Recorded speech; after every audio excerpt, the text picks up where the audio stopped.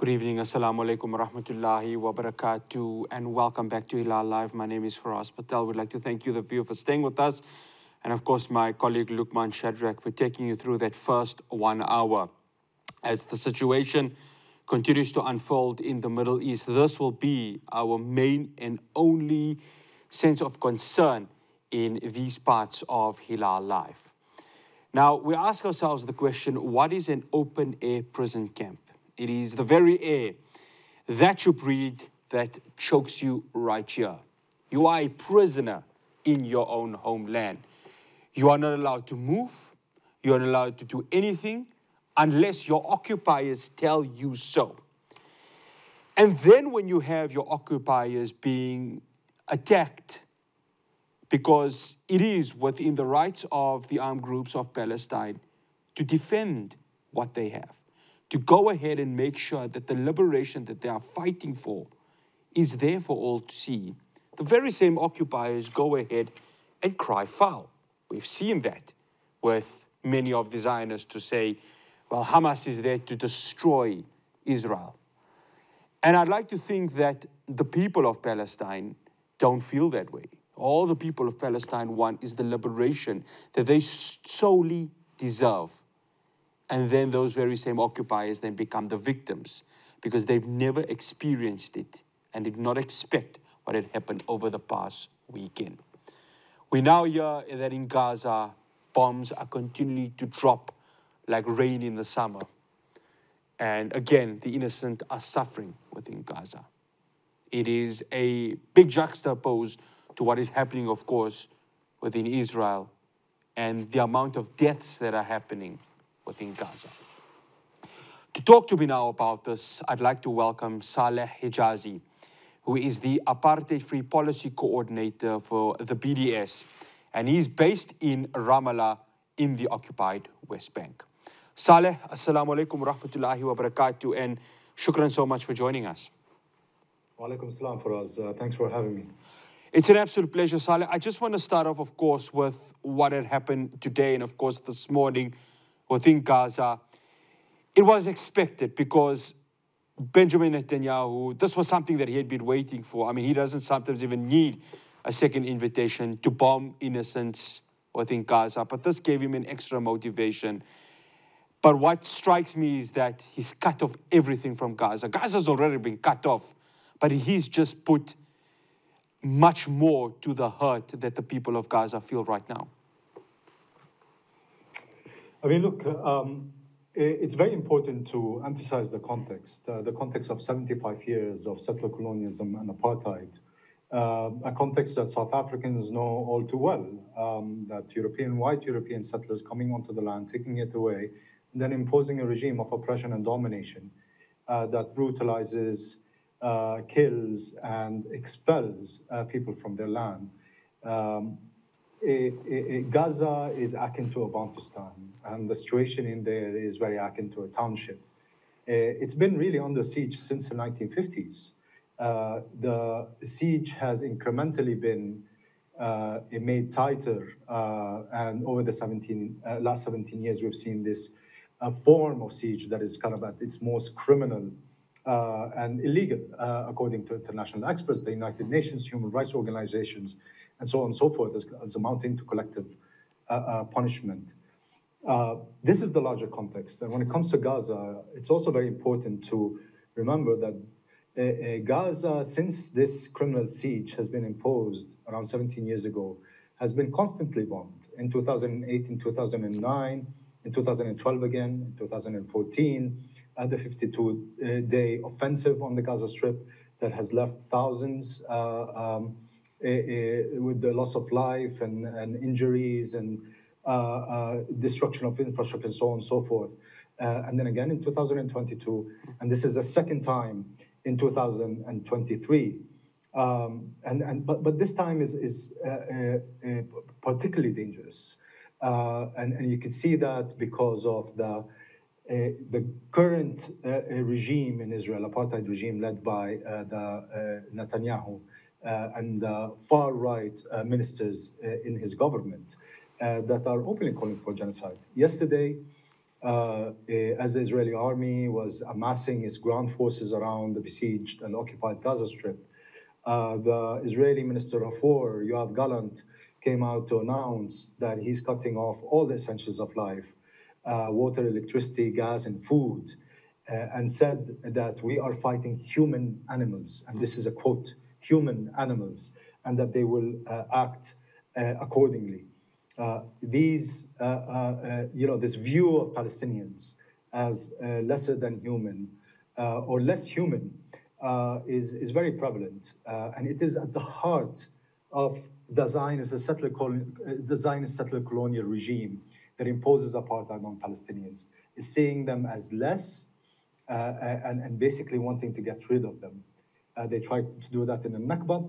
They tried to do that in 1967, and they continue with ongoing Nakba to do this.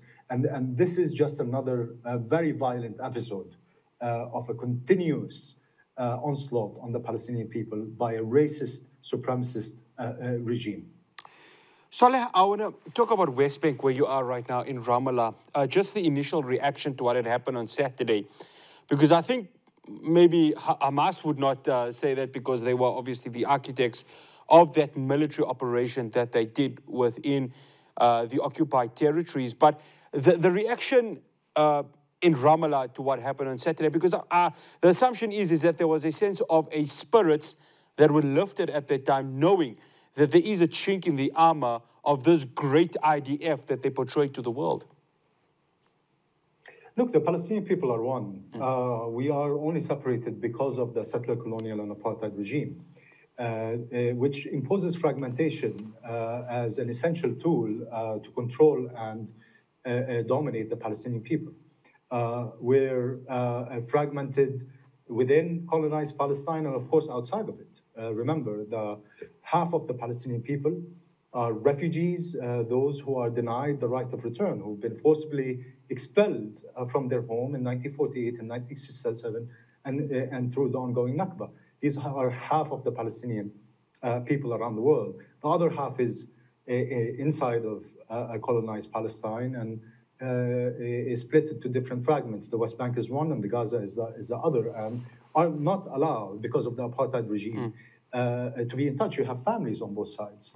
Uh, you have families in Gaza with relatives in the West Bank, right? And um, you have, uh, you know, old friendships. You have, uh, in the older times, trade relations and so on and so forth. We're one community. We're one society. We're not together because of this settler colonial regime. And uh, the situation in, and the people in the West Bank uh, react when it comes to the uh, onslaught, to the massacres, uh, uh, same as, as being Gaza. Of course, it doesn't compare, but here in the West Bank, the situation is simmering and it comes to boiling points at, at various points. 17 Palestinians have been killed since over the weekend, since the uh, Palestinian uh, uh, resistance fighters launched the launched the offensive it is uncovered by the media. It comes under the radar now because of the ultra violence uh, by the uh, apartheid Israel uh, against Gaza. Uh, but uh, you have uh, pockets of resistance here and there, popular on the checkpoints, in the streets, in the protests. I mean, in an hour from now, the students of Birzeit University coming together across all factions have called for a massive demonstration in Ramallah. Uh, there are similar demonstrations being organized on daily basis in the different cities. Uh, also very important to note about the West Bank is uh, this is the scene uh, of the quiet ethnic cleansing mm. that is continuously happening. The, the, uh, what you call the ongoing Nakba. It's these smaller communities that are in and around the illegal colonies that Israel has established in, in the occupied West Bank and who are slowly uh, being pushed away and forcibly expelled uh, from their homes by either armed settler militias or the Israeli army. Uh, one such community, for example, is the community of Ain Samia. This is the source, a main source of water for uh, large parts of the West Bank, including the city of Ramallah, where I am. Uh, the entire community uh, has been ethnically cleansed a, a, couple of months ago. And since then, uh, for us, uh, our water supply has been decreasing. Uh, over the last few months, uh, water runs out. Uh, basically, Israel controls, and I think this is very important, and I think South Africans will identify with this very much, that apartheid controls every single little bit of your life. You know, water, where you go, where you don't go, how you go, uh, uh, what you buy, what you eat, everything is controlled. Even marriage, who you love, and if you can be with your loved one or not. Israel, apartheid Israel controls. And when it comes to water, this is very dangerous. Yeah. Uh, we've been running out of water in my home. Uh, so water comes only once a week. Only once a week. Israel opens the tap on the city of Ramallah only once a week. In some villages around, it can be once every two weeks. And you have to save water. But the water comes very little. And with communities who are there in waters and in and around water sources like Ain Samia, when you forcibly displacement, displace them, uh, this is a very, very dangerous sign. So when you hear the rhetoric of genocide uh, in, in, you know, uh, from, from uh, uh, the Israeli, apartheid Israel's ministers right now around Gaza, there is also this ethnic cleansing and the slow uh, expulsion of Palestinians and the cutting of essentials that are also happening, but perhaps it is not as spectacular and as violent as we are now seeing in Gaza. You just answered the question I was about to bring. Uh, of course, it was declared that Israel is an apartheid state, and yet nobody is doing anything to hold them accountable. They cut your water, and you only allowed water for one week. If that's not a violation of basic human rights, then I absolutely do not know what it is. After the break, I continue my conversation with Saleh Hijazi. We're talking about what had happened this morning in Gaza but of course the situation as a whole. Do stay tuned. Welcome back to Hilaal Live. I'm still in conversation with Saleh Hijazi. Saleh, I want to bring in uh, what has been the global reaction to what had happened. Now, of course, the West would side with Israel, maybe a sense of obligation they have to them. You're telling me off air, they're one in the same, and they are probably cut from the same cloth. But Ophir, you also told me that there's a sense of disappointment from many of the Middle Eastern and neighboring countries to Palestine within the Arab world. Uh, the, the reaction on the ground or the sense of feeling from Palestinian people, is it one of betrayal even now when there is that little spark of resistance towards the Zionist Israel regime? Um, well, look, let me start by saying, I mean, we are where we are. Um, and again, as South Africans know too well, because of the complicity uh, of the international community and the Western powers, the global North, in the crimes that are being perpetrated against our people. Uh, there's direct complicity, whether it is the funding and supporting of Israel, including, for example, by arming and supporting uh, Israel's apartheid forces. Um, or by shielding Israel uh, from accountability under international law. This is also a form of complicity. There's complicity from major corporations, uh, private institutions, businesses in the Western world and the global North in Israel. for example, um, bulldozer company JCB is complicit in crimes, including the demolition of homes of Palestinians and the construction of illegal settlements. Um, uh, uh, other companies are uh, involved in the sports washing, mm-hmm. like Puma, for example, by sponsoring the Israeli Israeli football team and, and other sports teams. these the BDS mo- movement calls for their boycott, of course. Uh, so complicity is a major part here. And, and unfortunately, the complicity goes also beyond the global north.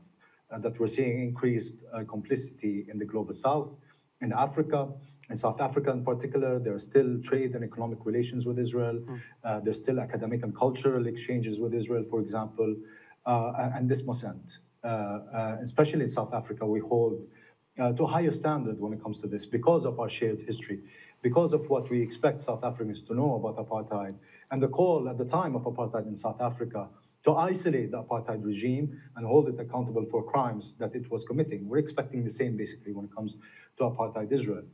Uh, now, you also have uh, Arab dictatorships, totalitarian regimes uh, that are also allying with Israel and signing these so-called normalization accords. Uh, we don't feel betrayal from these regimes. We know that the people of the Arab world, we know the people of Africa, we know the people of the Muslim world uh, stand solidly with the Palestinians, and that these regimes do not represent the sentiment, the solidarity, and what these people want to say, uh, want to see the justice, freedom, and equality for Palestinians, the dignity for Palestinians. You know, because uh, our movement, the BDS movement, is based on three main principles: the indivisibility of justice, that justice, you know, when Nelson Mandela says, says that our freedom is incomplete without the freedom of Palestinians. This can be applied across the board. If there is injustice somewhere, there's injustice everywhere. Uh, it's, the second principle is the intersectionality of justice, uh, of, of, of struggle, that our struggle for freedom, justice, and equality is organically connected to other struggles for justice, freedom, and equality around the world. We see how Israel oppresses here and exports its oppression uh, to other countries around the world. And Africa is one of the largest markets uh, for Israeli weapons and military technologies and surveillance technologies that then dictatorial regimes in the continent use to suppress, repress, and oppress their own people. Yeah? Uh, the third and, and very important principle is the ethical, uh, uh, the ethical obligation of uh, do no harm and let no harm be done in your name and rectify if there is harm done in your name. And this is what comes to complicity. Uh, that we do not expect the Western colonial uh, imperial powers to come and stand by the side of, of, of, justice. We also don't expect Arab dictatorial regimes to come and st stand by the side of justice. But we do expect that people, freedom loving people all around the world, especially those that share our experience, and share the trajectory of where we're going, uh, really move and work towards ending their own governments, their own institutions, organizations, including, for example, university, cultural institutions, sports teams, and other complicity in apartheid Israel. We must all work to isolate apartheid. It has no place in our world, not in Palestine, not anywhere, right? It should have done, been, been, been done and over with in, in 1994, but it has not. Apartheid was established in South Africa in 1948. It was established in Palestine in 1948. While one has ended, perhaps with a lot of still uh, major issue of, uh, issues of inequality and, and, and, so on, the other one still persists with brutal oppression against the indigenous population of Palestine. Yeah. So uh, we call on the solidarity of people, uh, not of governments, yes. Yeah, I mean, Saleh, you bring up a valid point, right? Here in South Africa, there may be a freedom of movement, but economic freedom still exclusion for many of the majority here in South Africa, which is, of course, uh, people of color, but mostly that of black Africans. Saleh, uh, you raised an important point earlier on, and that is, of course, governments through the normalization of ties of Israel, especially in the Arab world, is occurring, but it's its citizens. And you see a, a, huge spike in anti-Israel uh, condemnation through protest, anti-Zionist protest across the world. I was seeing in Al Jazeera this morning, even in Buenos Aires, Argentina. Didn't expect it to happen in Latin American countries. So the message is spreading. And that can only raise awareness and that can also put pressure on governments to, as you say, potentially enforce the boycott of Israeli goods. Yes, it's only through people power that we can uh, create the change that we want to see. Uh, it is not by relying on corrupt dictatorial uh, regimes, wherever they are. Uh, it is through people power. And we do have massive solidarity in Latin America, uh, even in North America and Europe. Uh, eh, there are conscious people, freedom loving people there, unions, human rights organizations, civil society organizations who stand solidly in solidarity with the Palestinians and try to end their government's complicity with apartheid Israel and take action, including at this very difficult time, uh, uh, to ensure that they support the Palestinian struggle for freedom, justice, and equality. Uh, same goes to in, in, Africa, across the Arab world, and of course in Asia and the Pacific. Uh, eh, we have a, a, the base, we have the people with us. Uh, and, and, and this is the only way uh, that we are able to change. So at, at, these very difficult and dark times, very painful times, mm. Uh, we also want to see uh, uh, the hope that exists within it. Uh, that at these difficult times, we can amass that power and we can create the change we want. And for this, and because I'm speaking to South African brothers and sisters here, is that there is a, a, a, lot of reliance on you. And again, because of the shared history, because we know that you understand uh, what we've been going through, what we go through, uh, and where we want to go, which is shared, that South Africa takes a leading role in isolating apartheid Israel and, and, and, and it, it, you know, garners the support of others eh, in Africa, like for example in the African Union, in Namibia, and Senegal, and, and so on and so forth, uh, uh, to really grow that momentum. Uh, we want to see uh, eventually sanctions imposed on Israel. We want to see them now. You know, we're calling for an arms embargo. We're calling for an end of arms trade. Uh, we're calling for legal targeted sanctions against apartheid Israel and its leaders. Uh, and, and, and we hope that uh, South Africa, given the history, can actually lead uh, uh, on that front. Saleh, one final question before I let you go. What happened over the weekend? The armed resistance groups who took the fight, who made that military operation into these occupied territories, is that the spark of hope that could potentially change the future of Palestine and allow that liberation to move one step closer? Absolutely. What is happening is historic, um, uh, by all means. Um, uh, uh, but it's also very important to understand it in the context of Palestinian tradition of resistance. Uh, we have never once accepted uh, colonial and foreign rule uh, since before the establishment of the apartheid state of Israel in 1948. Palestinians revolted in various means against the British colony, the British mandate that was ruling, the uh, big uh, uh, revolution of 1936, the big strike of 1936, is perhaps one place to start the story and goes on until basically today, going through different episodes. we're continuously, you know, and, and, and this is uh, what we hope would provide inspiration uh, for people all around the world that despite the hardships, despite the near impossible conditions uh, under which we live, the brutal uh, uh, monstrous regime uh, that kills and brutalizes and dehumanizes every day, that we continue to struggle, we continue to fight, and, and hopefully we continue to inspire for a, a world of justice, freedom, and equality, which we all share. Saleh, we'd like to say shukran to you so much for joining us. We hope to speak to you again uh, as, of course, we continue to monitor what is happening. It's always a pleasure. Thank you. Thank you for having me. No, absolute pleasure. Saleh Hijazi coming to us from Ramallah in the occupied West Bank. He is the Apartheid Free Policy Coordinator for BDS. After the break, I'll have your latest in news. Of course, we will be leading on what had happened during the day Uh, in Palestine. to tuned to Hilaal Live.